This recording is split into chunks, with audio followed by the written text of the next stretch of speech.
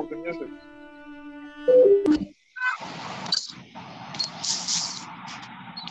Oh, what was that? Thank God.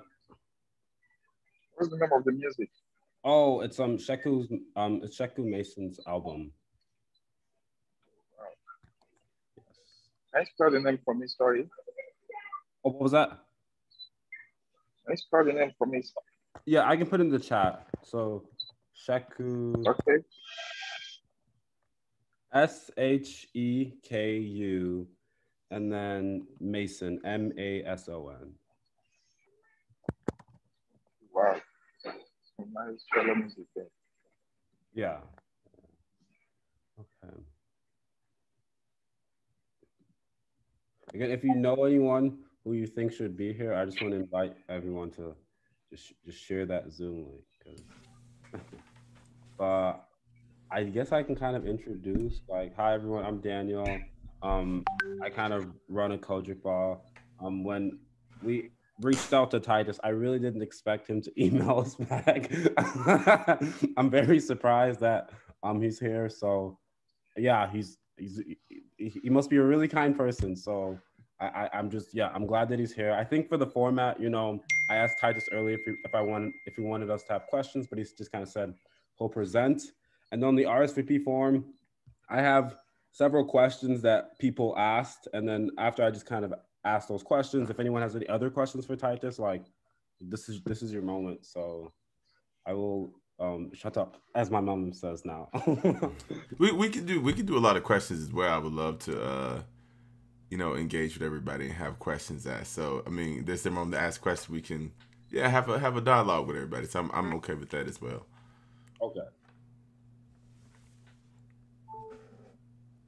Yeah. All right. So is everybody everybody present yet? For the most part, I I think people will be rolling in as we go on, but the floor is really yours. And as people come in, I'll just ask them to mute. But yeah. Gotcha. Did someone ask about Sheku earlier? I wasn't near the. Oh yeah, thank God I asked about Sheku. Oh, gotcha. Yeah, yeah, yeah. I've known Sheku for a while actually. Before he got really, really big and famous, because he plays with Chineke. Yeah, yeah.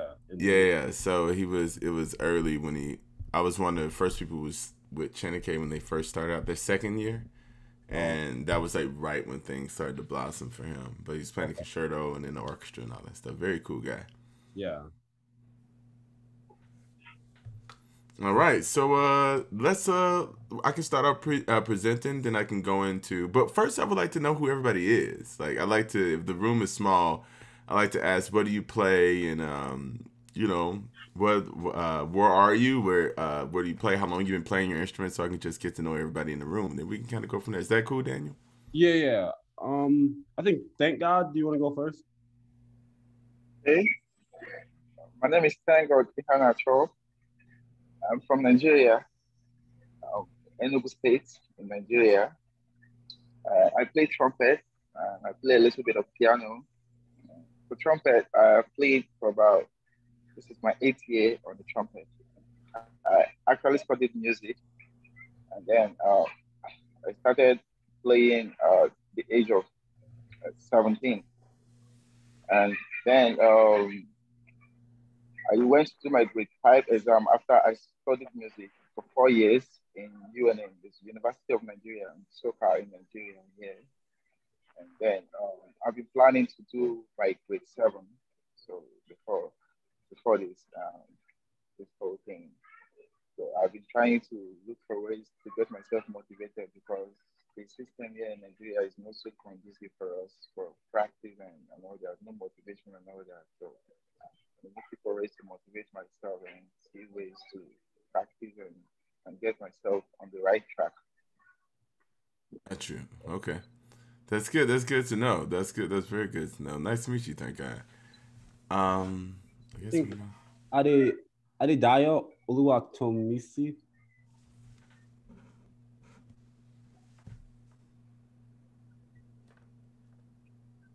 I think he. I think Adedayo is frozen.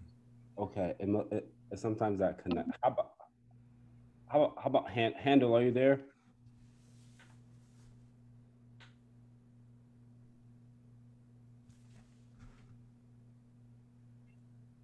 think so. Um, next person I see my my screen is uh is Segun. Are you there, Segun Samuel? Is that Shegu? You're muted. Go ahead, unmute yourself. My name is Sheng Samuel. I play violin. Actually studying chemistry in school, but also a lover of music. I'm planning to write grade five. Muson. Very oh, cool. and, Mu- and Muson's the musical society of Nigeria. And Yes, yes. yes. oh, and then Handel just messaged me in the chat. He said he's in a noisy place. Okay. Handel says he lives in Lagos and he's been playing the violin for um nine years. Okay. Very cool. Very cool. All right. Uh, who would be next? I see. Uh, I think Jayola. Is that am I pronouncing it correctly? Yeah, yeah, you're correct. Awesome. Okay. I'm Jayola Kendi Rami. Um, I'm a musician and music educator. I've been playing the viola for about seven years. I finished from University of Lagos and National School. Of Music. Okay. Okay. Um. All right. Let's go to the next person. Let's move. Let's uh move quick. Let's go to uh. I think did we hear from Adedayo? I did. We did. I think he froze last time. No, I think we were trying to. Adidai, are you are you there? Yeah, I'm here. I'm here. Hello. What do you play and and how long you been playing it? Hello. Okay. Good day. My name is um, Adedayo, and um, I play the trumpet. I've been playing for about seven years. Um, alongside, I studied um, compu- computer engineering, and um, I have my HND in computer engineering in 2019. And um, yeah, I got um, a scholarship to study at um, the US um, trumpet performance, um, Birmingham State University. Thank you very much. Okay, okay. Thank you. Thank you for that. Uh uh Jeremiah.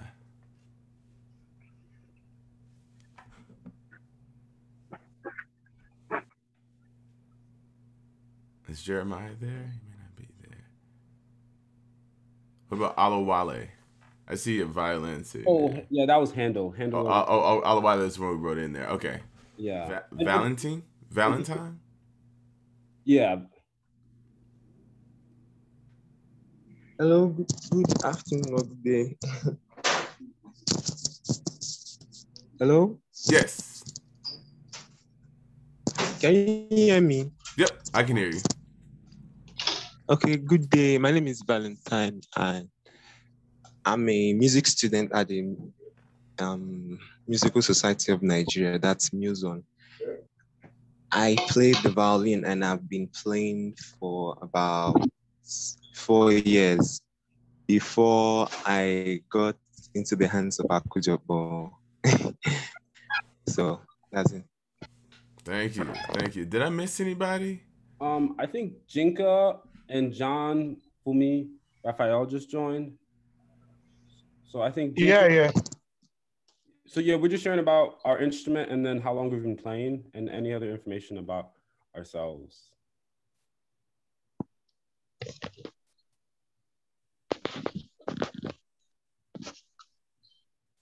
Oh, John?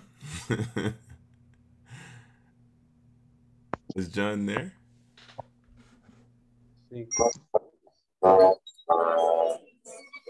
I think maybe his connection may be a little. okay, and people will be rolling in. So Yeah, people be rolling. in. So let's um let's just do the the last two, uh Jinka and and who else and and then we can we can uh go ahead with uh presenting and, and questions and things. Uh so I see Jink uh uh Janika.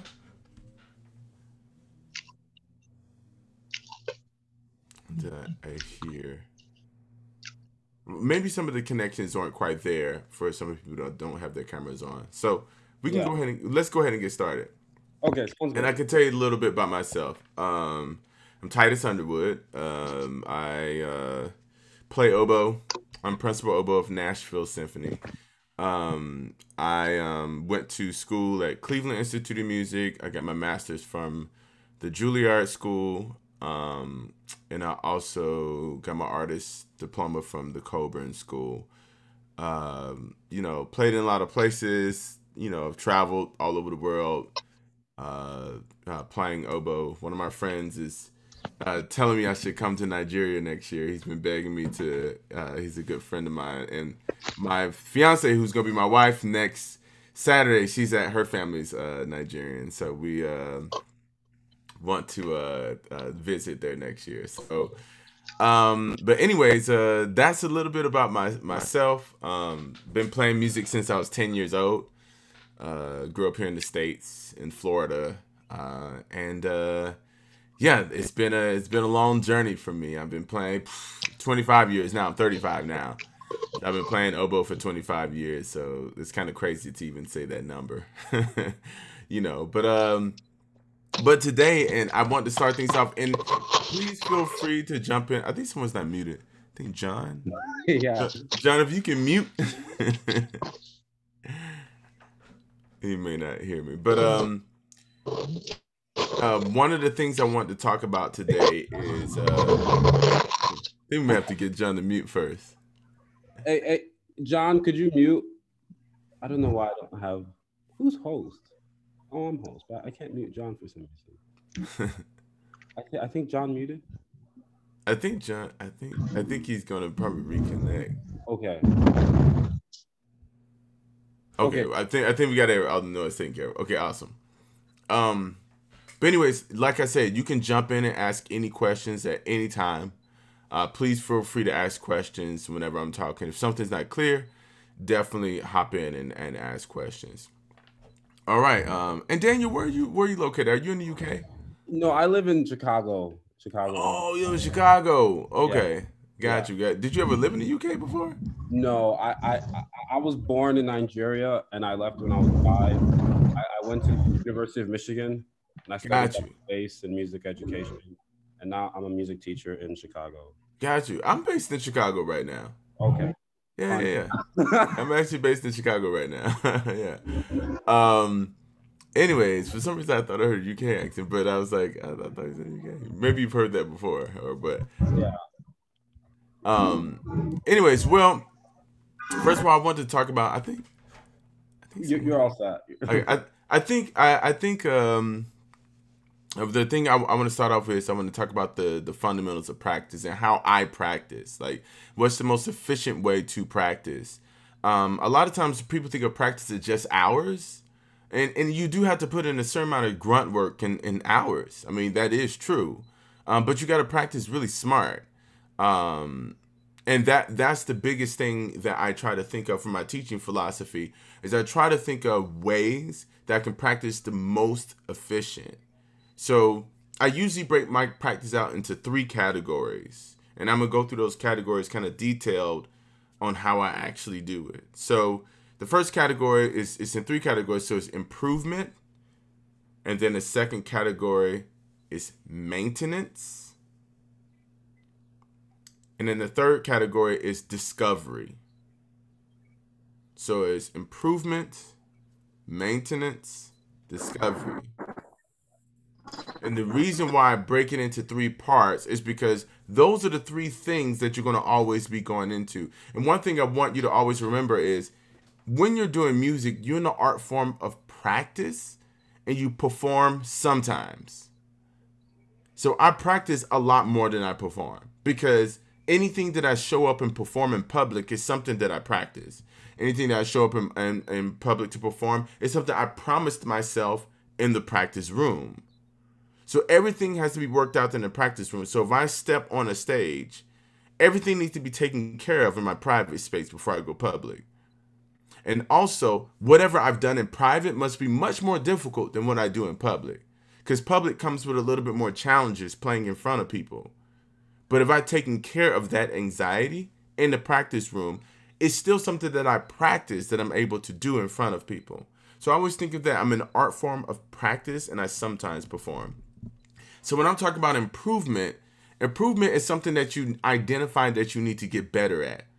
So whether it's your intonation or it's your rhythm or it's your articulation or whatever the case may be, that is what you must improve. That's something you must zero in and, and fix and raise up to the level of maintenance.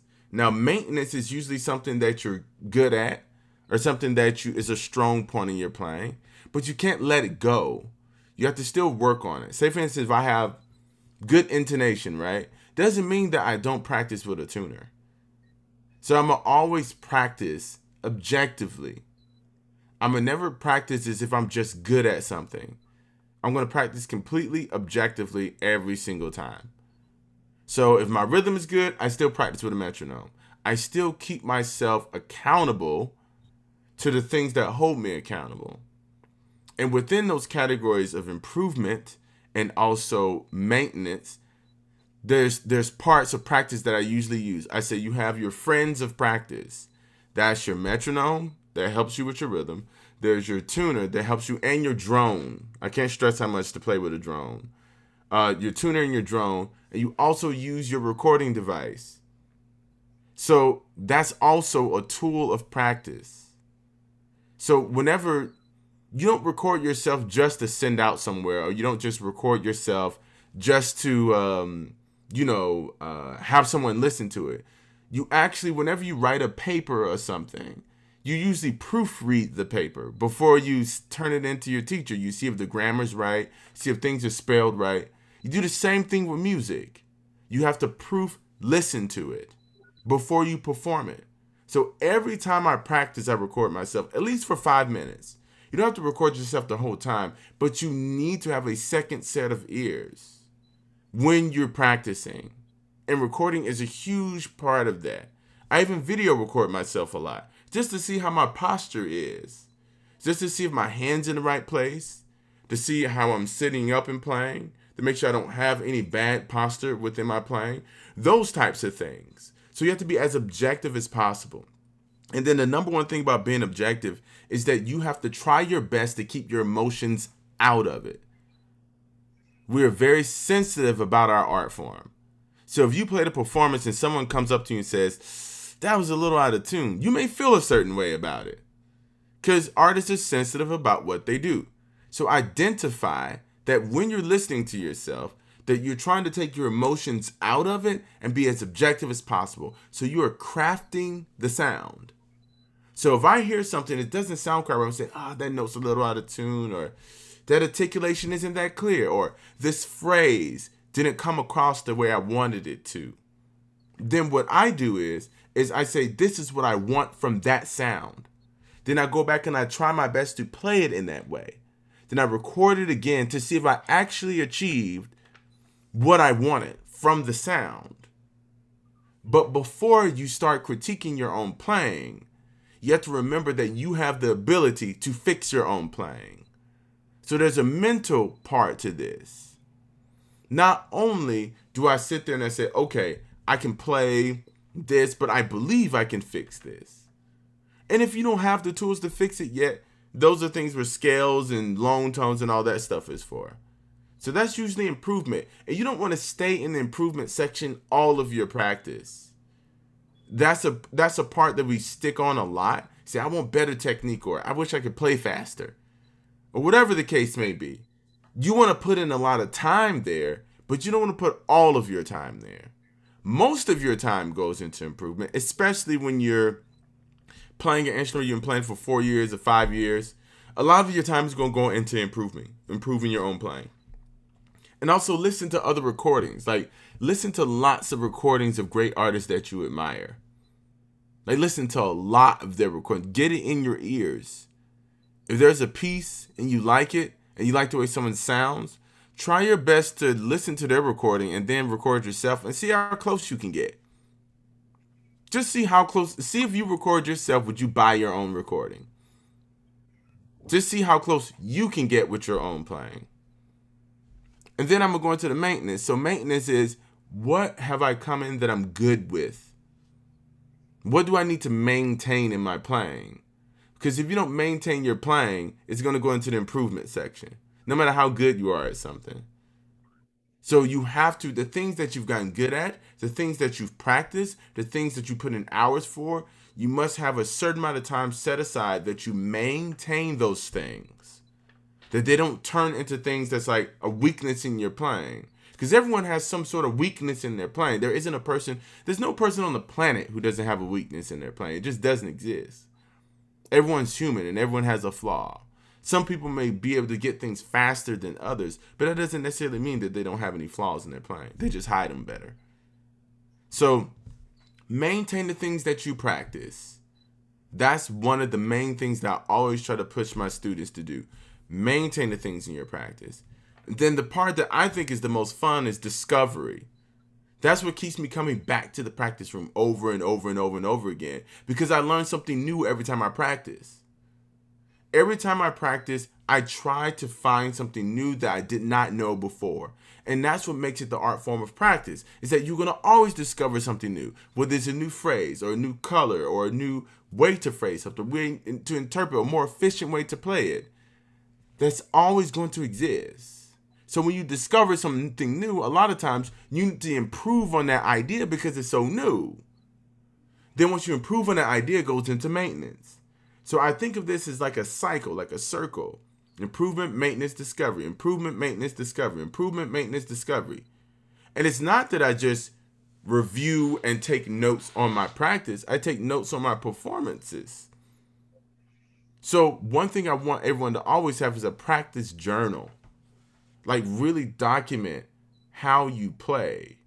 And then when you come back to the practice room, you're not trying to figure out what you need to do. You already know what you need to do. You've already figured it out. So you start from that place and say, okay, yesterday I was doing this. And you'd be shocked how easy it is to forget what you practiced the day before. So holding yourself accountable with the things that you have practiced before is extremely, extremely, extremely important. So I even keep many. Uh, I keep my recordings organized, like what I recorded. I don't keep them forever. Some recordings I keep forever is a really good recording, but my practice recordings I usually keep them for a couple days so I can see the progress of how I've how I've done. So there are many different things that I do. Another thing that I do in my practice is I sing my part. I always sing my part because this is the, the instrument that I chose, right? That I'm playing, and it's the instrument that I'm given. And what happens is is that I'm trying to bridge the gap between the instrument that I chose and the instrument I'm given. So when I sing that part, I have a much more natural expression without an instrument getting in the way. Most people are very musically inclined who want to do music, but they have a hard time connecting the instrument to their emotional expression because there's something technical that's stopping them from expressing what they want to do or what they want to say. That's what practice is about because classical music is is is halfway art and it's halfway sport. It's both. So when someone's playing very fast, that's a very athletic thing. It's like an athlete. So, but this it's an athlete who does artistic things. So that's something to also think about when you're approaching your practice. I want to kind of open up for questions before I keep going, but I want to see if anyone has any specific and if and also you can throw questions in the chat as well that that we can read. Anyone have any questions before I move forward? Thoughts, statements, questions? And and by all means, jump in at any time if you want to say, "Hey, I have something to say," or "I've had problems with my practice in, in any way." Um, and moving forward, the one thing I want I, I want to cover is know what your goal is and what you want to do. Like start start with the end in mind. So when I was playing oboe in Pensacola, Florida, where I'm from, I was really thinking about what I wanted to do and where I wanted to go. So that made me, if I say, hey, I want to be principal oboe of a major symphony orchestra, right? If I'm thinking that way, I'm thinking, how do I get there? What am I what what is the road I need to create to get in this place? how many hours I need to put into practice, what repertoire do I need to learn, what teachers I need to be in contact with, who do I need to know, what schools I need to go to, and how do I get myself to be a competitive musician that I'm able to get myself in these positions. Those are the things that I really, really thought about. Because that's how you get there. Thinking about the end in mind. And if your plan doesn't stack up yet, don't get discouraged because your plan isn't there yet. Practice. Like, and organize your practice. And go through all these practice techniques. And play your scales, play your long tones, play everything that you need to do to get to where you need to go. So the only thing is, is I, I know this is an art form that kind of praises people that are younger that do things play fast. I was saying classical music, there's always a younger person who can play faster and higher than you. It's, it's just the way that the art form is. But you have your own you have your own pace, you have your own story, you have your own journey. So the number one thing is is that however many hours or years you need to put in to get to where you need to go, then that's what you need to be doing. And the reason why I'm structuring out this practice technique is so that you have a very organized way of going about doing that. So that's the number one thing I try to impress on students. Is it's not necessarily just the hours. It's about how organized and efficient your practice actually is. Because most people do not practice efficiently. And the best people who the best practicers are the best performers. The best performers have the most success. And that also that all ties into the way that you practice. And let me uh re I have a question coming here. Uh have you ever had a wrong habit that seriously affects your practice, goals, and objectives? Because this is a, terrible for musicians and young people. How can this be overcome? Great question. Um yes, I've had a lot of serious issues in my playing before. So I started out um, not with a great teacher. So my teacher was um, he was the teacher of the local symphony orchestra, like community orchestra from where I was from. And where I was from, I didn't see any major symphony orchestras. Like I didn't know they really existed. You know, but I knew I wanted to play the oboe. My older sister played violin and she was the one who convinced me to play the oboe. Well, I came from a very musical family. Anyways, all of us play instruments. but um so I was kind of looking for what I wanted to play, but coming from where I was from, there wasn't much that I could see. So I started off with a lot of bad habits uh, when I got into, especially when I got into conservatory. The number one thing about bad habits that I try to think is um, one, identify what the habit is, and then two, the biggest way for that I've corrected bad habits is usually practicing in front of a mirror and practicing with a recorder. Because you'll be able to see the thing that you're doing that's not correct. And I do this as well. Don't just practice in front of the mirror. Take your iPhone or iPad or whatever you have, the phone that you have to record yourself, I mean, I'm, all of you have something to record yourself. Otherwise, you wouldn't be on Zoom. Um, take the thing to record yourself, and then keep practicing until you actually forget that you're being recorded. That bad habit will show up, and then you'll be able to watch the tape or watch the video and identify what that issue is. The number one thing is identify what the issue is, and what happens is one becomes physically and emotionally dependent on the way that they're playing. But once you identify that issue, you have to be very, very, very, uh, have strong intent to fix that. Like you have to really zero in on it. That's why I said, what do I need to improve? What habits do I have? And you name those things. And once you see what it is, you have to put together. It's say for instance, if someone has, I don't know, I had a student who moved too much, like which is all over the place. And I'm not I, I'm a I'm, I'm a fan of people moving. I want people to move when they play, but I don't want it to be something that distracts their playing. So what I did was I said you should tie something around your arms when you play. Just something to correct it. It's like if someone breaks their foot, you put them on crutches. You know, and then they they don't keep the crutches forever, but they keep the crutches one to take the weight off and two to correct the way that they're walking.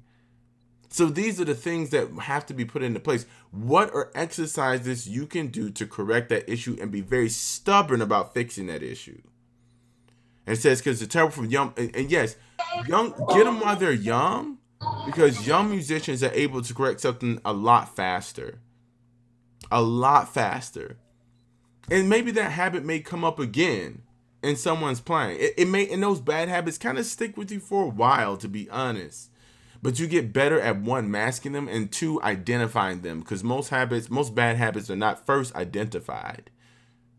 That's the first step. Identify the the um the problem okay actually habits outside of music. Oh!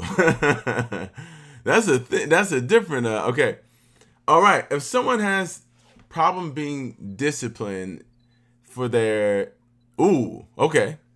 Um if if, if, if, a, if a student has problems with something outside of of music then you have to ask them are they really serious about this you have to ask them are they serious? Because if something is taken away from their art form that is actually stopping them from being a great artist then you need to ask them are they serious? And if they're not in fact serious then you need to question if that's someone you actually want to teach.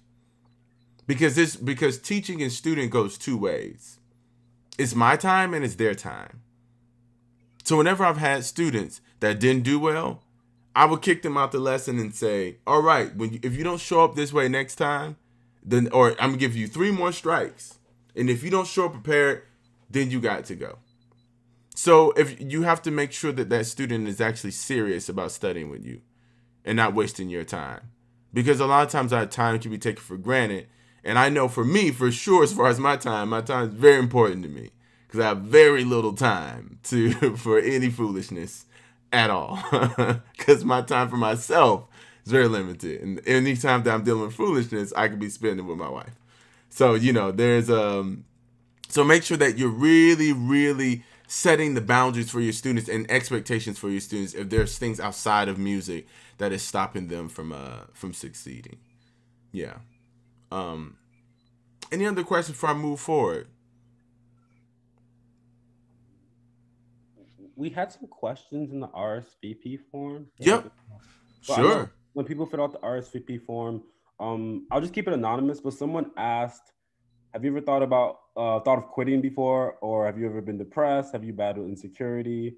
Um, how do you balance, you know, being able to um, be with the people you love, kind of like you mentioned, your wife, while Mm. also like fulfilling the time in the practice room? Mm. I can put that in the chat too. That was Yeah, that was- yeah, yeah, yeah, yeah, yeah. That's dense. Put put it in there so I can read over and go over each part of it. Um, have I wanted to quit before? Oh yeah, I wanted to quit. Everybody wants to quit at some point. Like, um, yes, I, I wanted to quit. I would say maybe five years ago.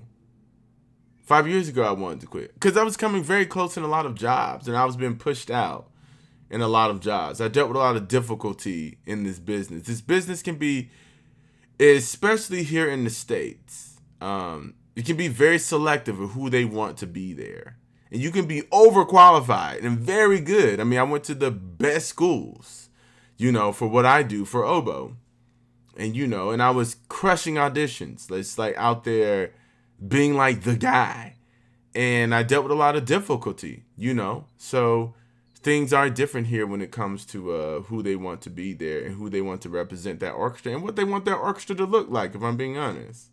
So there are lots of gatekeepers in the industry, and people are kicking down the gates these days. I know I'm making my my business to kick down gates because I don't want anyone else to deal with what I dealt with in this business. So uh, yes, I have wanted to quit before, but the thing that kept me going was my friends and my and, and have I ever been a depressed musician?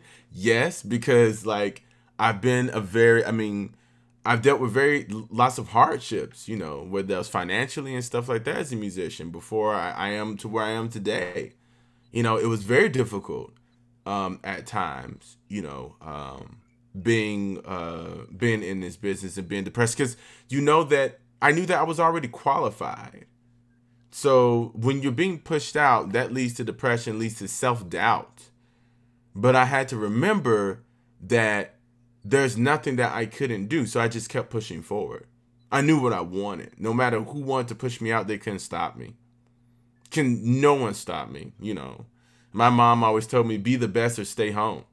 So I would show up and then be the best, you know. And that's what you have to do. You have to keep showing up. That's the that's the difference between people who succeed people who don't. It's the person who keeps showing up. Because you will fail a lot of times and nothing's gonna be perfect, but you have to keep showing up. That's the biggest thing. It's like people who are quote unquote at the top just get they get knocked down a lot and they just keep going. So I just never stopped. You know, so that's something that I really, really kept dear to me is that I, I never I knew what I wanted to do and nobody could push me out. So no matter what they said about me. You know, so that was a big thing. Um so how do you balance being available to the people you love and still fulfilling uh, your many hours of practice? Is also a, a great question. Um, you know, my biggest thing for me is time. So my my my fiance will be my wife next next Saturday. She's a doctor. She's very busy. Then I'm a professional uh, orchestra musician. I'm really busy, and I also teach at a conservatory. I'm like super busy. So I literally work seven days a week. Like I don't have a day off, literally. So I work a lot of hours. I travel a lot. I have tons of emails every 30, 40 emails every day from different people from all over the globe. So it's constant. So I have to really, really manage my time. So I always prioritize my time. My family's first when it comes to anything. Because without family, I don't have anything. So my family comes first, then my practice comes after that but I try my best to be as organized as possible. Like really organize my time. I have to be intentional about my time. So I'm not just like, oh, I have free time here. No, I literally plan out exactly how my day goes. So those are one of the things. At this point in my life, I do have someone who assists with my schedule, but one of the uh, an assistant who who who you know gets my schedule together, make sure I can do things at certain times. But before I had an assistant, I was doing that all myself. So learning to be really really organized is the thing that's going to help you the most to be honest like like very very intentionally organized because before you know it you're not going to have time to do anything and everything's going to fall apart. And when things start to pick up for you you need to be equipped and ready for that demand. All right? Um it says same i heard every musician home and abroad talk about using the metronome practice but it doesn't work for me. Okay, um, metronome doesn't work for you.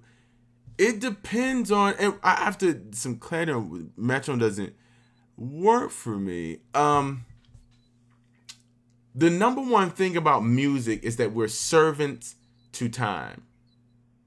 Time is first. Like we're on here and time is passing and none of us can do anything about it. I'm getting older right now. You're getting older right now, right as we're talking. But we're just choosing to be on here together to spend our time. So therefore, time is the only thing you can't get back. Same thing in music. You are a servant to time. So the metronome holds you accountable. So I'm wondering, are you using it correctly? Because it's not just to check the, the speed of the piece, it's also to make sure that your notes are even. Good technique is nothing but even rhythm. That's all it is. So if I'm going Mozart oboe concerto,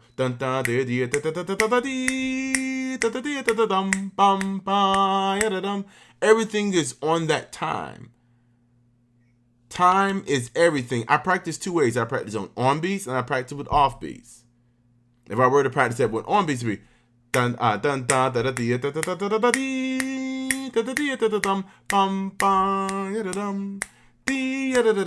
then I practice with offbeats. Da da da da da da da da da da da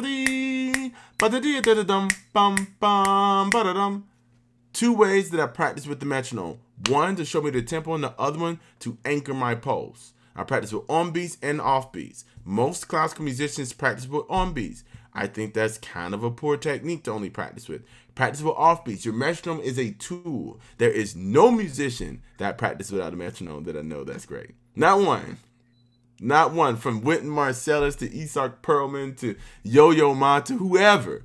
They sit down and they practice with the metronome. So what I always ask, what do the greats do? I need to be doing that.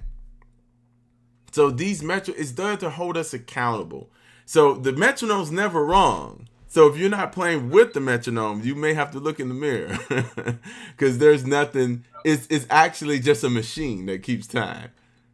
So if that machine had that's been calibrated to be absolutely right, make sure you're with that machine. All right.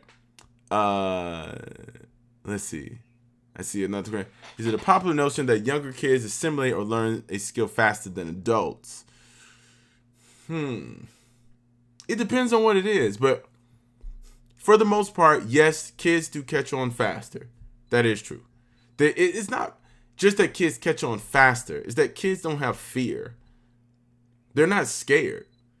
They haven't developed habits. So they're just just vaults that you could put information in. So they just do what you tell them to do and they keep doing it. And if they have a good teacher, they will succeed. It's like the notion of Mozart, right? People say Mozart was a genius. Mozart was a genius. Mozart's talent was discovered very young. He was developed at a young age. It's not just that he was smart, it's that someone put the right information into that very smart kid. A lot of times as adults, we have fears, we have talent, we have bills to pay. There's just a lot of stuff that gets in the way. Just life. Kids don't have that. They don't even know life really exists the way that we know it exists. So just keep that in mind. When you're in your practice room and you shut that door, it's you and the music. Sometimes I'm thinking, oh, I got to email this person back. You and the music. That's what you have to think about when it's you in that practice room. So, do kids learn fast? Yes, they do because adults have a lot of hangups. And also, our motor skills get slightly slower, but that doesn't, but fast isn't the key. It's about being efficient. And when you're being efficient, you actually learn faster. You actually learn to practice smarter as you get older. You get smarter about your practice. So when you're older and you're attacking something, think about techniques to practice because you're already an over analyzing person anyways because you're older. So that's why I said be objective about the things that you use. Um, I mean, the second half of that question: What are the limitations of efficient practice to older students, especially learning techniques that most uh, prodigies you know have been studying since they were so little? All right, we I just addressed the prodigy thing. In classical music, there aren't many prodigies. I'm gonna say that again. In classical music, 99.9% of us are not prodigies. So when you see someone play well, it's not a prodigy. It's just someone who practiced. You know, so it isn't this person who has this genius level of like intelligence. They're not any smarter than you. They're no more talented than you. They're not like, oh my goodness, I wish I had that much talent. It's they're not aliens. They're humans. So they're just humans who learn how to practice efficiently. That's why I said be organized with your practice. And usually, yes, with older students, especially learning technique, it can be very difficult. But you have to look at that adult as a child in their in their musical years. We expect the adult to learn faster because they're an adult. But let's take it for instance. Um, violinists in the States a lot of times start at like three years old. That's like a common age to start playing violin. Three years old, Suzuki method. So if you're starting three years old and then you're 13, you got 10 years. If you're 23, you have 20 years. If you're 33, you have 30 years. So if someone's starting at 18, they're starting at three years old. If you start violin at 18, you are that three year old child. You may be the same age as that person if you're both 18.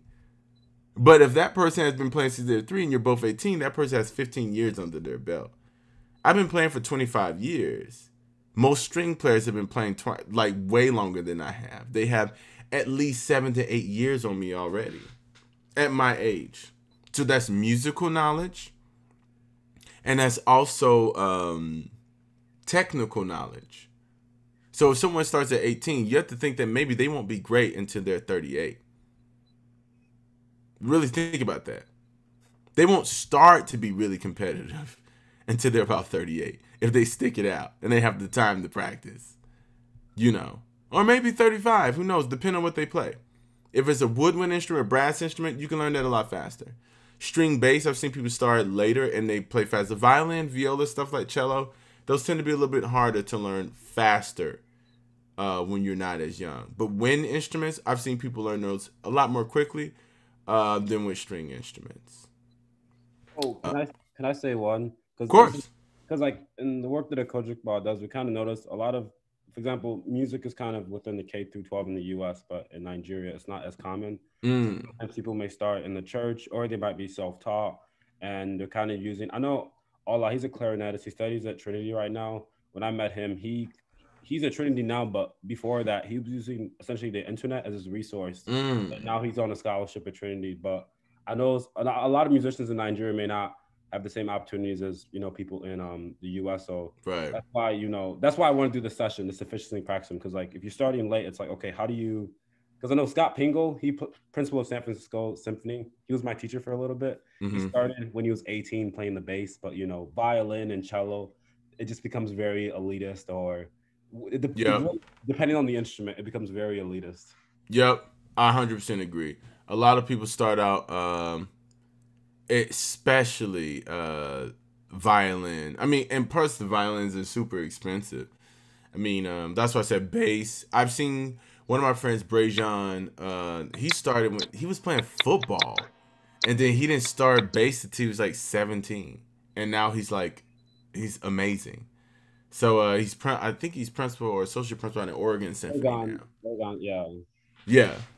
So there's a lot of I mean there's a lot of players that have started out late that I know are very good depending on the instrument. That's why I said if you have started late, just think of your don't compare yourself to your the people who are the same age as you.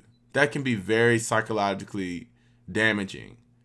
So e- even if there's something to be learned from someone who's 15 on the internet or whatever, learn what that person does well. It's not about their age, it's about their skill. When I got to grad school, you know, I used to ask one of my undergrad friends to help me out with some stuff. And he was a junior. I was in my master's. It didn't matter what the age was, I didn't care. I just wanted the information. Seek information, seek knowledge. Then put those pieces together, then put in the time for that. So that's the main thing. Don't don't get caught up in the age thing. That can be a very dangerous territory to go into. Psychologically and your practice room. Don't compare you on your own journey. That's why I said at the beginning. You have your own journey in music. It's not compared to other people. Um let me see what uh there's another one here. Hello ties. Uh, I've heard a music brought Okay, it says I heard, I've heard every musician home and abroad talk about using the metro practice, but it doesn't work for me. Oh, Does that make? Oh yeah, it says does that make me a bad musician or unserious? No, it doesn't make you a bad musician. I, there was a second part of the question the person wrote. Doesn't make you a bad musician or, or not serious or unserious. I I don't think one should question their character. That's that's why I said when I was talking earlier about practice is being objective. The number one thing is being objective and not judging yourself. You judge your playing. Yeah, I judge my playing all the time in a good way. Like I critique it. But I'm not like, man, I'm a bad musician. I'm not serious. Like, then I, I can't. The thing is, how do you quantify that? How do I quantify unserious? How do I quantify bad musician? Like, what does that even mean? You know, so I, I, want I want you to be very, very objective about the way that you practice. That's the biggest thing. That's the biggest thing. Do you got more questions in there, Daniel? Um, yes, we have about 10 more minutes, so I, I, I'll just ask one more question that we had in RSVP form. But if anyone has any questions, again, you know, 10 more minutes. Um, so one question that someone, I guess you've kind of touched upon this, but one question I think, thank God, asked this in RSVP form. He, he mentioned, um, what keeps you motivated, um, to practice more and more? And maybe thank God you want to kind of talk more about that question that you asked. Yeah, go ahead, please. There's nothing much to talk about it. Like, I mean, just wanted to ask, I mean, what keeps you motivated? What makes you practice more? Like, I mean, when you don't have musicians around you, professionals, like, I mean, people that play, like, I mean, musicians, like, unlike some people do have musicians around them. I mean, like, what really motivates you more when you don't have circle of good musicians around you? Mm, That's a great question. Great question. Ooh, how do I stay motivated when you have good, when you you don't have the musicians around you to the environment? Um. So COVID nineteen, as we know, we were all very isolated. A lot of us, like we couldn't go to work and see people. Especially in the states, it was very very bad. I don't know how it was in Nigeria, but over here in the states, it got you got pretty. Uh, you're muted, Daniel. I was pretty bad in Nigeria. Got you. Um, yeah, sorry to hear that. It's uh here in the states, it was it was pretty bad. Uh, and you know, I didn't have anyone around me to to motivate me or help me go to the practice room. But the one thing is, is that like what I started to really, really do, I was like, what do I want to do? Because you have to be very self motivated in this game. And I understand that playing along with other musicians helps you as well. And if you're not around, you because you want to be challenged, right? Like if you're around musicians that you don't feel or challenging you, or you feel like you're leading all the time, and you don't have that competitive element, that can be difficult. So something I would suggest is this: like figure out who your favorite violinists are, or what what do you play? Thank God. Trumpet. Trumpet. Okay. Figure out who your favorite trumpet players are, and I'm sure you have some favorites look online and then play along with those. Play a symphony with headphones on. See if you can stack up like literally take like a a, a Brahms symphony or whatever. Sit it on the part on your stand because IMSLP is free. Go in there, get your part, play along with one of your favorite recordings, and see how well you can play along with that orchestra. You have to create your environment in your own head. So just like you have those headphones on, I would sit down and play along with other players that I thought were great and see if I can keep up. Like play a symphony from the beginning to the end. Play, you know, the the Hummel concerto, you know, or the Haydn concerto. Like there's this amazing Wynton Marsalis recording of the Haydn concerto. See if you can do it close to how he does it. Make make that person your imaginary friend that keeps you accountable. Like have all your imaginary friends, you may not know them, but you know they're playing from their recordings. Have that be the standard that guides you. Then, if you want to play with ensemble things, think of brass quintets or quartets or whatever, play along with those. Because if the environment isn't there, you have to create it for yourself. Because that's the only solution. The thing is, when I hear something, there has to be a solution to everything. So once you start playing with that, you know what that does? When you start going up to that level of playing, then you start to connect the dots and then you put yourself in a competitive place where you're actually able to start auditioning and getting into places that are competitive so those are the things that you have to really think about hold yourself accountable to the people that you listen to that you look up to that's that would be a, a place to start record yourself like listen to Wynton or whoever else or uh, Phil Smith or whoever it is listen to their recording, record yourself, play them back to back. Play his, play yours. See how close you can get. And then start really holding yourself accountable like, oh, he's much better than me. He's a he's a genius, so I can't play like that. No, no, no, no, no. Hold yourself accountable. And then little by little, I have two questions that I ask myself when something amazes me. And this is a good question that you ask when something amazes me as a player, so I show up to a concert and an oboe player that's amazing, and I say, "Wow, how did he do that? That's amazing." Then the second question I ask is this: "Wow, how did he do that? That's amazing." I'm figuring. Then I start putting together how he actually did it, and then I figure out practice techniques to get me from here to where that person is. It may take me a year may take me two years, may take me three years, but I'm going to get there. You need to really analyze these players. Really, really analyze them. And to be honest with you, a lot of times, like when I've reached out to people, they've responded. Like whenever I needed help, a lot of times people responded. It's kind of interesting how music is. If you ask someone in music, you know, a question, more than likely they'll tell you the answer. It's not like you know you're you're a, uh, a uh, you know investment banker where they're not going to tell you their secrets you know in music they're like yeah yeah yeah i do this most people are very generous with information so don't stop whether it's facebook or whatever don't hesitate to reach out to people. Like, if you knock on the door enough times, they probably will answer you, to be honest. Any other questions there, Daniel? I think I have time for uh, one or two more questions. I have a question, please. Yes, please. Yeah, I I'm, I'm Jeremiah, so I I'm a voice major. I'm a baritone singer, and I picked up the cello. That was last year, early last year. Mm-hmm. You get so I've been I've been rehearsing. I had a teacher, but I find it so difficult to do something. So what what I did is my teacher recommended a book for me, which is uh, Piatti Cello Method. Mm-hmm. So I've been using the book. I, I find it difficult, you know, pitch and all that. So what I did was I I went on YouTube, I downloaded, you know, like an audio section of all the etudes and the exercises in the methods. So after I downloaded it, I play along with with the audio. I don't know if that is good for a good practice.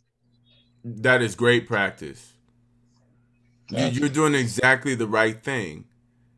Play along with it. But when you play along with it, make sure you have a mirror or something. And also record yourself visually so that you have a diary and a record to see how you progress. So while Okay. you're doing that, not just playing along with it, but make sure that you're holding yourself accountable visually as well. And Yeah. you would you would start to you would start to figure out more efficient ways to do it. And when you look, even when you're looking at people online or whatever, you can see the beautiful thing about strings. You can actually see what they're doing. When players, we're kind of lost. We have to just kind of figure it out because everything happens mostly internally. But if you're playing something, you see it. See how how close you are to that person's technique, and keep playing along with those technique books as well because that is the way to go. And that's why I was talking to Thank God about. Play along with the things and hold yourself accountable in most in in, in, in many ways as possible. The more objective tools you have, the faster you will grow. Okay, thank you very much. Of course, you're welcome. You're welcome. I think we have time for one more. Yeah, yeah, we do. One more question. And we started a, a couple minutes behind, so we can go a couple minutes. So I, I don't mind that. Kind. of course, no, no problem, no problem. Of course.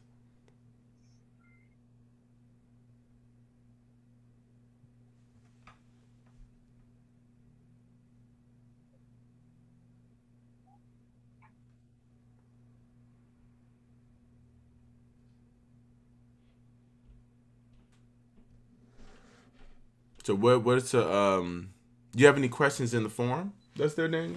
Yeah, so I'm just thinking because like you've let me see.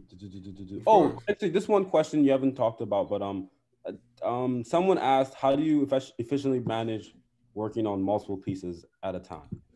Hmm. that's a great question. Um, it goes back to the same thing. I may sound like a broken record, but it's because it works. Um, staying really organized.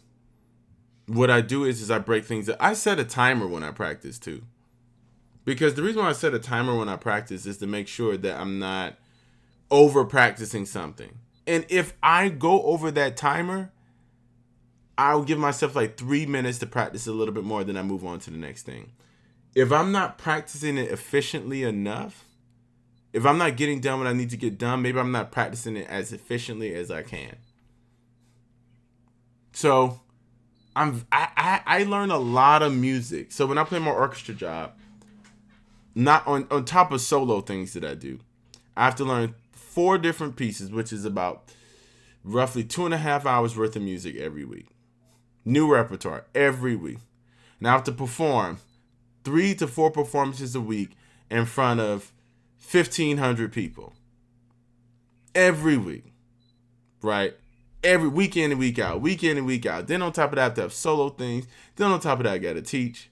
So I don't have time to waste any time because I just literally don't have the time to waste. Like I said before, organize yourself the best you can. So if I'm doing, say, for instance, I don't know, a William Grant Still piece, and then I'm doing a Brahms piece, I'm doing a Mahler piece.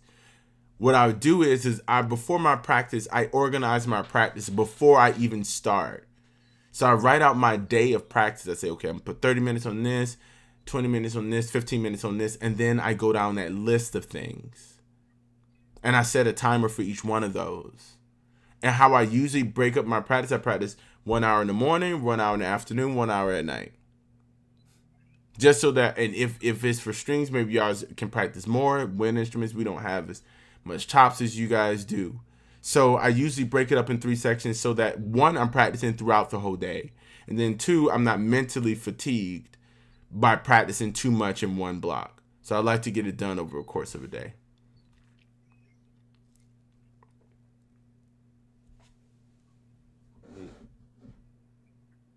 Do you know what's right and wrong in your practice? Um, sometimes I do and sometimes I don't. I mean, there's a lot of trial and error that goes into my practice. But I do know that the right thing to do the practice is to use your recorder, your tuner, and your metronome. I know that's the right way to practice because that's been that has stood the test of time for the last like 150 years. I would think that it works. So I think um I think that's how I know I'm practicing correctly is when I'm I am uh, using those things effectively. Another thing is I record myself with the metronome on a lot of times. I record myself with the tuner on a lot of times just to see if I'm actually playing in tune. To see if I'm actually playing in time. Record yourself with the metronome going and then see how close you are with it. You'll be shocked. You'll be shocked once you practice. You'll be very, very shocked to see if you're actually lined up with uh with the metronome. Yeah. You're welcome. You're welcome.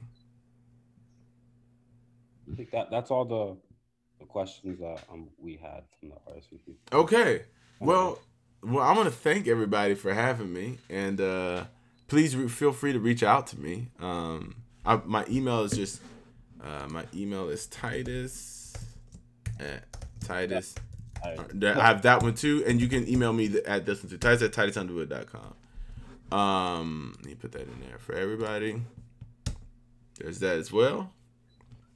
Um, yes, uh, please feel free to reach out to me. Facebook, uh, uh, my I think you can message me on Facebook. I think my Facebook friends are capped, but you can at least message me on there. Um, yeah, and and I'm I'm super excited to see what all of you are doing. Please stay in touch and uh yeah, in any way that I can help, please let me know. Um, and don't hesitate, don't be shy to reach out at all. Um, it may take me a little time to to respond, but that's just because I'm busy. But I usually respond. So, yeah. Right. This was so cool. I, I, I honestly, this was something I kind of thought about. I didn't know it actually happened. I didn't know. I'm glad. I'm glad people showed up. I'm glad um, Titus responded. This is a good day. awesome. I'm glad. I'm glad that it worked out. I'm glad that it worked out. Really appreciate that. Yeah, yeah. Well, um, I guess I'll be seeing you guys. Definitely reach. Like I said, reach out and uh, uh, you will see me on the internet and all that stuff. Uh, I have a short film coming out very soon. Uh, so that comes out June 19th. So uh, that will be out. Lots of role playing and stuff like that. So I hope you'll be able to see it. And uh, yeah, I hope to see y'all soon. Thanks so much, Titus. Um, thank you so much, Daniel. I appreciate it. You are welcome. You are all welcome. Thank you, thank you, thank you. I'll take your thank practice you hard. You are thank welcome. You, you are you. welcome. Talk soon to you all. Bye bye. Have a good day, everyone.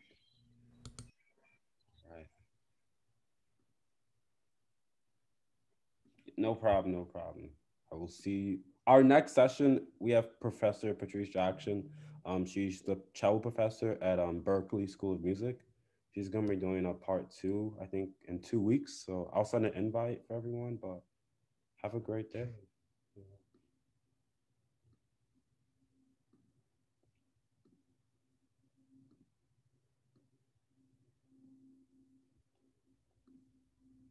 Oh yeah, no, no problem. No problem.